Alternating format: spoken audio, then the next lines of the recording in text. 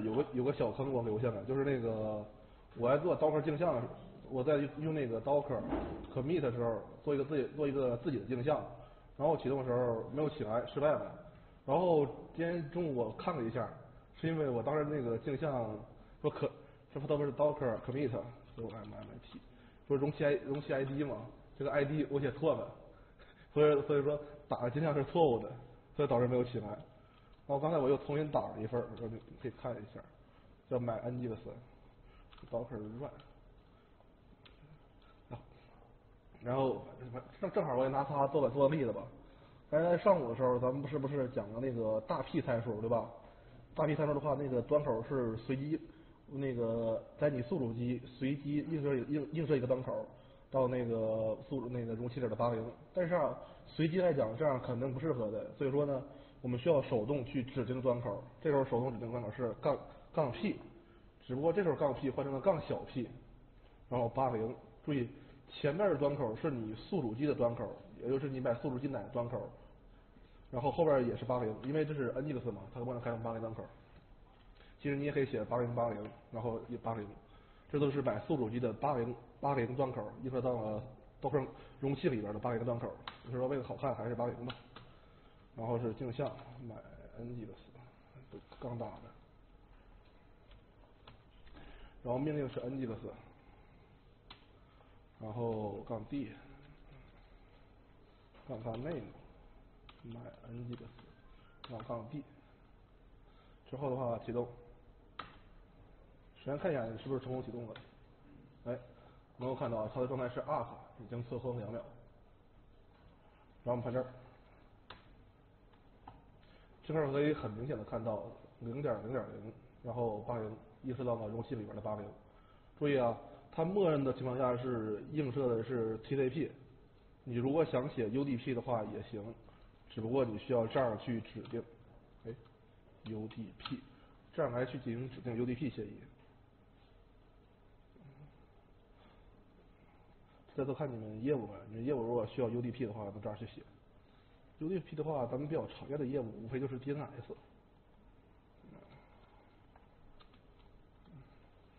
将。速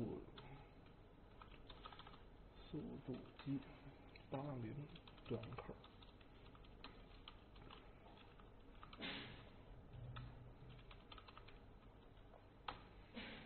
然后我们看一下我们这台机器的 IP，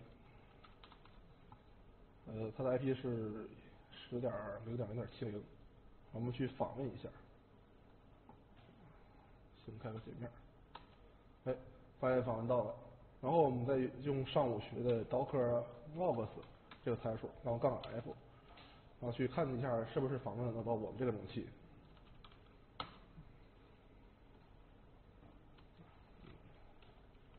好，还得新开一个，因为缓存。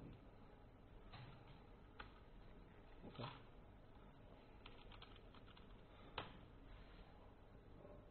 哦对，这样的话是没有报没有报过。啊，对，这样那个对，我对刚想想，这种日日志的话，默认是它会输出到屏幕上，只不过那个我没有配置而已。我配置没有配置的话，你默认的话都会写到是文件里边，从而不会让你发现。你也可以那种设设置一下那种展示方式，不过一般情况下都是用文件。然后我们说我们做的吧，我们 Nginx 的话是用那种 RSS-log 那种方式传到一台指定的机器上，然后这样进行收集。其实也有另外一种方式，就是你在那个你挂载一个目录。就是你把所有日志文件专门放到这里，然后它应该应该收集。这两种方案我感觉都都可以，这都看你们那个公司个人选型问题了。对，然后咱们继续说，哎，这时候呢，大家可以看到啊，说它默认映射的端口是四零，对吧？假设你这台那个你们是一台 Redis，然后呢，你不想暴露在公网上。这时候你需要都可以需要那种指定 IP 映射，对不对？所以说这时候先把原来东西删掉。哎，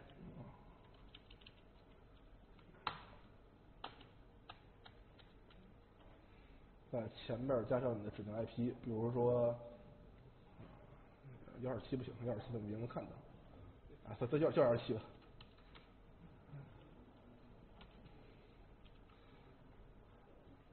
然后再启动，然后我们再 Docker ps 看一下。这时候呢，它绑定的就是你幺二七点零点零点一端口，然后呢这块你再访问的话，它是访问不了的，没有网站。然后我们本地我们刻一下，克幺二七，哎，能够进行正正常一个访问。这这是两种比较常用的那个方案，那个是第一，都是杠小 p，然后指定端口，指定那个端口映射，然后是所有 IP。第二种就是那个，就是指定那个一个 IP 的端一个端口，然后对容器进行映射。其实还有很多嗯不太常用的，我给大家。简单去介绍一下吧，就比如说这个 Docker，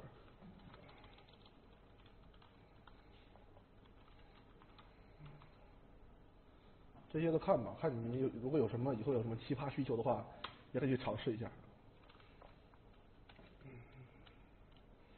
比如你把这块它不八零吗？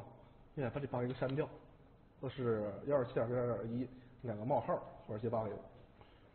然后启动一下，这时候呢，你会发现还是那个随机端口去映射。我感觉这个意义太不大，基本上没什么意义啊。所以说你已经指定 IP 了，然后你还随机端口，你这为什为什么呢？除非说你你想你想用的端口被别人占占的，然后你想测试一下。除了这个，我还真想不出什么其他理由。基本上都是常常用的，就是我刚才说那两个。那个所全全 IP 指定端口端口映射，第二就是指定 IP 指定端口映射，那么其他的话基本上不怎么常用。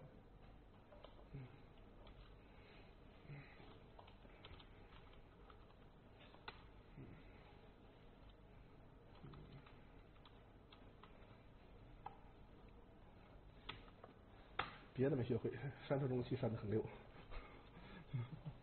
各种各种删。然后的话，这个是刀客的网网络的第一部分。然后说说第二部分，你一个容器的话，呃，你一一一般情况下是跑一个应用，但是呢，你需要往往需要需要跟外部就做一个交进行交互。比如说，你容器 A 你跑个那那个 Nginx 加 PHP，你容器 B 需要跑跑一个那个 MySQL，这时候你要做一个交互。但是呢，由于那个容器默认来讲，它的 IP 是 DHCP 自动分配的。你无法获取到它的一个 IP，那你要说每次进入容器那种 ESEC 或者 Attach 这种方式进入容器去手改，这样的话无形中会给你增加很大的工作量。所以这时候那个 Docker 这块是比较机智，他们可以实现一个容器间的互联。然后首先容器间的互联，这意味什么？最少需要用两台容器，对吧？所以说我们需要清两个容器，你一台。你一个东西你要跟自己就不需要互联的，直接走本地幺二七点零点零点一得了。我们继续走刚才那个，嗯，这样吧，反正这块暂时意义不大。然后后边的话会有一个那种是实际的例子，然后去我还是先简单写一下，嗯，叫外外部一吧。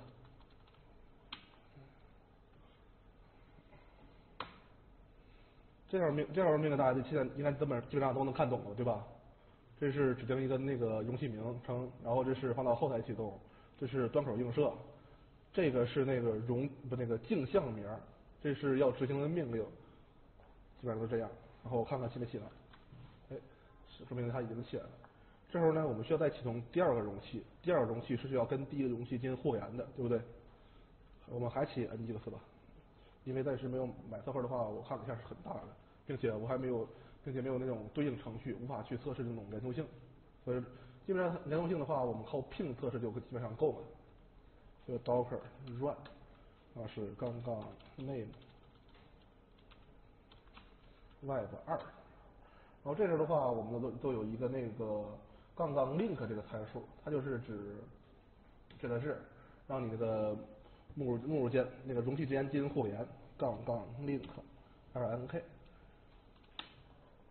link，然后这块指定的是一个你的主机名，你的你的容器名，比如说 web web 一，然后然后你去镜镜像名 ng 的呸 my my ng 的 ng 的。然后这块，比如说现在接近云车吧，杠 P，八零端口我们已经用了，所以说再用八零肯定是会出错的，所以说用别的八零八零吧。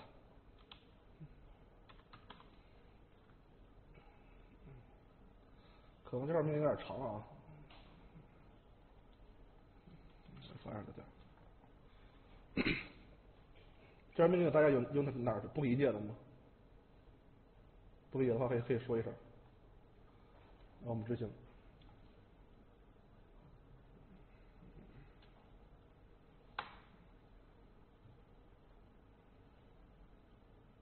哦，这这怪我，这个没有加杠 D 参数，所以说默认它是会在前台进行操作的，不过没关系，咱们进进那个里边去。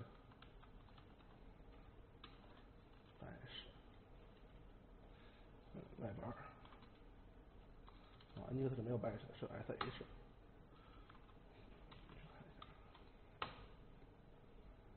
嗯，大家可以发现，呃，在 ngx 的 host 文件里边去多了这么一行，就是 web 一，然后它对应的 IP 是那个幺二七幺二七点零点，不是幺二七点幺七幺七二点幺七点零点二，然后我们是拼一下能不能拼通，哎，答案确实能拼通的。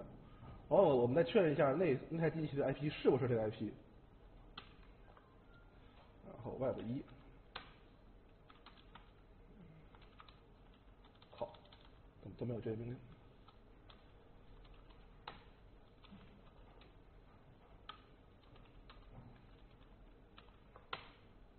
我们可以看到，它的 IP 确实是幺七二点幺七点零点二。然后大家可能有时候有个疑问啊，你这块默认是指的是容器名，但是呢，以后你容器名变了怎么办？你不可能说你程序里边那个，你程序一般来讲程序的话，比如说连连买侧扣吧，它都支持域名或者 IP 的方式。其实你 IP 最终也是通过 DNS 或者那本地的本地 host 就用来对应一个 IP，然后进行连接。但是你要说你配置这个。就那个容器名，容器名发生变化的话，你配置文件都需要大量的修改，这样是不对的，这样比较麻烦。所以呢，我们采用另外一个方案。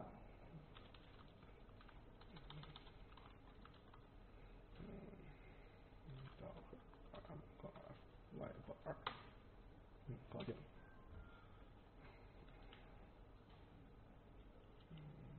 嗯，聪明点，杠 D。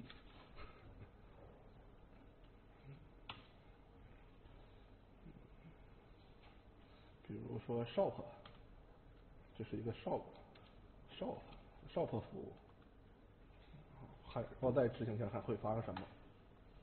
然后我们继续看一下是不是能够正常启动，哎，发现我 Web 二能够正常启动，是存活状态。然后我们再进 Web 二里边看看 host 文件这会发生什么变化。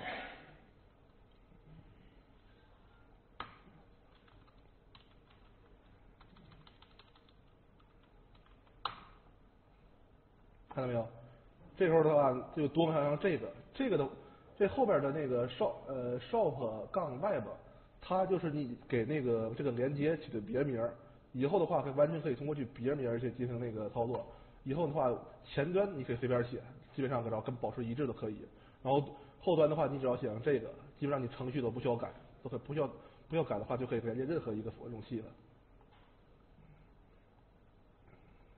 因为现在是咱们是手动模拟各个容线的连接，如果单机的话，后边我会讲什么 Docker Compose 这个这个工具。然后至于集群版的话，那个下周的话班长应该是会讲那个 K8s 这块 K8s 的话，暂时先不多讲，然后等下下周班长来去讲。嗯，是什么问题？你这你确定你有买杠 NGS 这个这个项吗？这么说了嘛，unable to find images my 杠 gs 在本地，然后你也下不到。你看你，你要说没有这个的话，你直你直接把那个买 ngs 删掉，就就可以。你看到没？你是没有没有加没有加全。由于你不是官方镜像，你必所以说你必须是那种全路这种全路径的表达方式，这就是 cby。那个斜杠杠，就是卖 nginx，当然你因为是不加那种前缀的话是官方自己才有特权，咱们是没有有，咱们是没有的。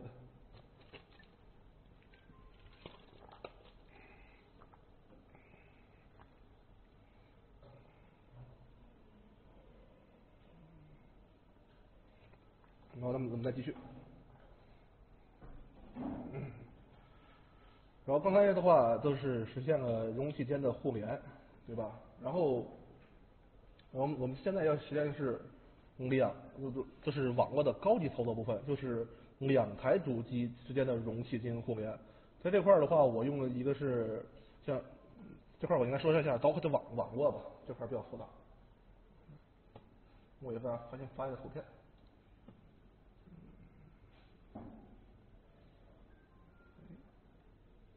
稍等一下。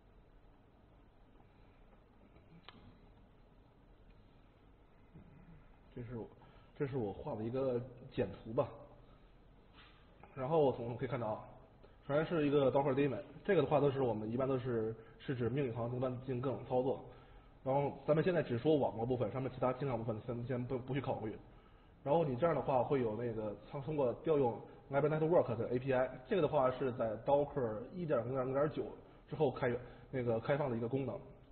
这个功能开放之后的话，那个都是你都可以写相应相应的自己的驱动来控制 Docker 的网络部分。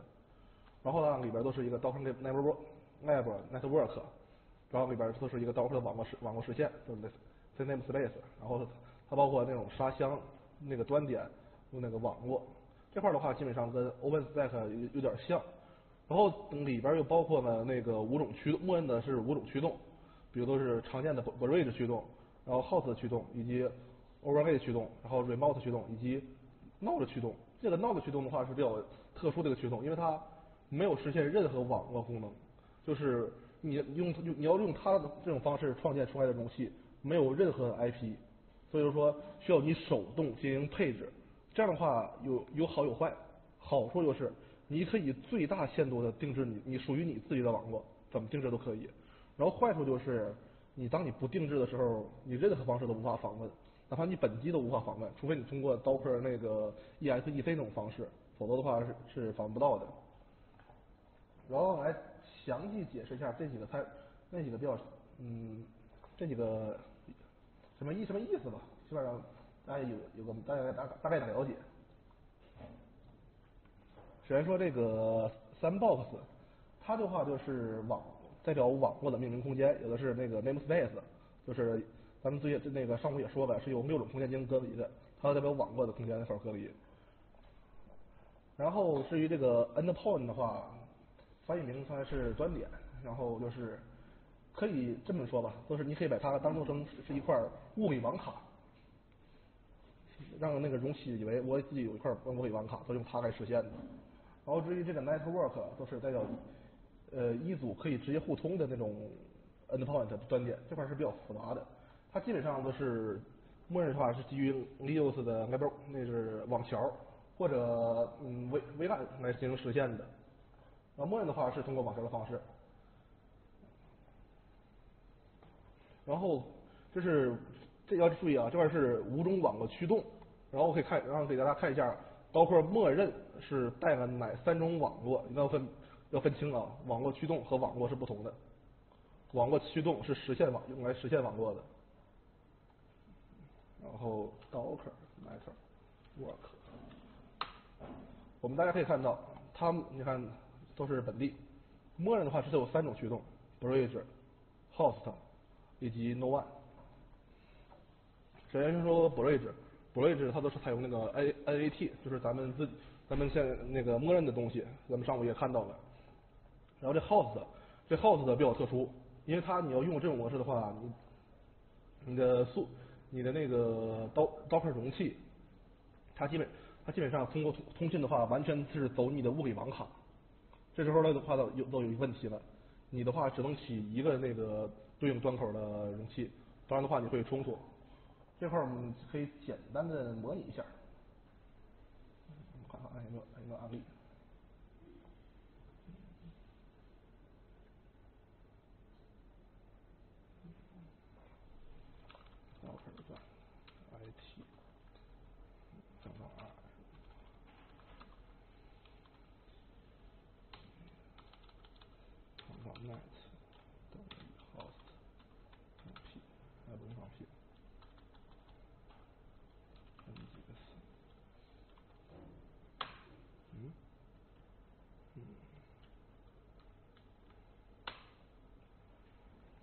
你看到没有？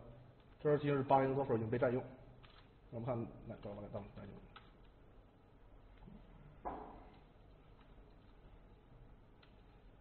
哎，其实这块都能直观体现了。我并没有说那个，哎，这块啊，我并没有说映射本机本本机的八零端口，对不对？但是它为啥说八零端口被占用呢？因为你这个 NG 的容器，它默认是启动八零端口的。由于你你用采用了 host 这种网络方式。所以说，它默认它它的默认网络信息全走的是本地。本地的话，你看本地我已经那个之前已经映射了一个八零端口，所以说在它它再用本本地八零端口的时候，会造成那个网络那个端口冲突，所以所所以说就会发生问题。其实这种方案的话，适合比如说你单机器跑的那个容器很很固定那种，比如说。我我只跑那个跑 N 跑一个 NGX，跑一个 Tomcat，跑一个 MySQL，基本上你只要保证它那个不冲突就可以了。这么做还有一个好处，好处就是它的网络性能是基本上是这这几种模式最高的，它都是相当于直接走你网卡，不用什么经过内核相关的一些转换。你像 NAT 那种方式也是有相关相关的损耗的，不知道这块有没有做网络同学可以给我解答一下这块。这种情况下，嗯。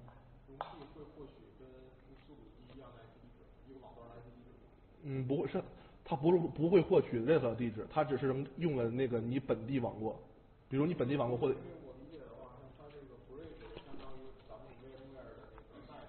嗯。不不不不是。它一跟跟桥接毕竟没有一点关系，它就是是只只复制你你这个 IP，或者本你本地内网 IP，原则上是。对。对。你你这样的话，它默认都可以实现一个容容器间的那个跨主机的容器互联。因为的话，你跨主机也基本上你只要保证这两块网卡通的话，容器肯定是一定通的。因为它网络站是走的容器本身，那个物理机本身。所以说这种情况下都是看业务吧，只能说不能说没有没有用。它既然设置出来的有有相一定的用处。然后你说那个 No One 模式，这个 No One 模模式。怎么去演示呢？咱们去看一眼啊，看能不能。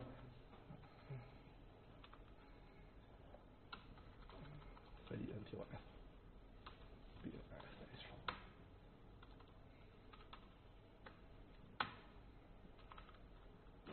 你很飞也没有，靠。嗯。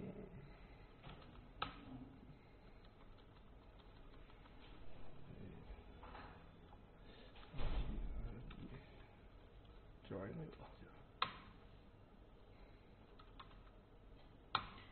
你看到没有？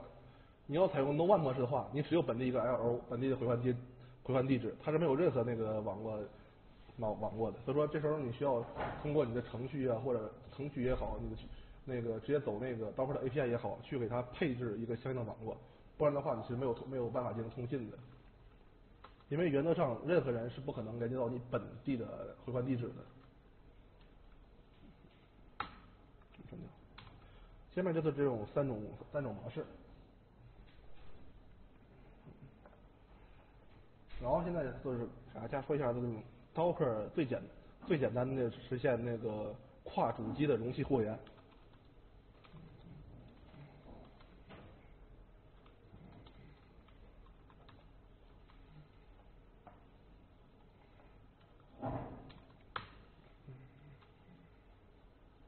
要不大家先休息会儿吧，因为这块的话，跨主跨主机的东西会员的话比较多，呃，我怕一次性讲的话，不讲时间太长了。为了是为了再说为了保证视频的比较短，就让大家